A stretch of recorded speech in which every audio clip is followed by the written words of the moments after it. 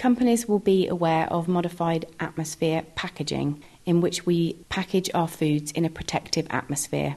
There are now opportunities to process in a modified atmosphere in an oxygen free environment. This is done in a glove box in which the atmosphere can be modified. The gas supply is connected to the machine and the various conditions are set. The digital dial indicates the amount of oxygen present within the glove box. This machine is capable of achieving an environment of less than 1% oxygen. The box and the gloves into the box are hermetically sealed, and the gloves aid processing within the box. This can be used to dice, chop, puree, or juice fruit and vegetable products.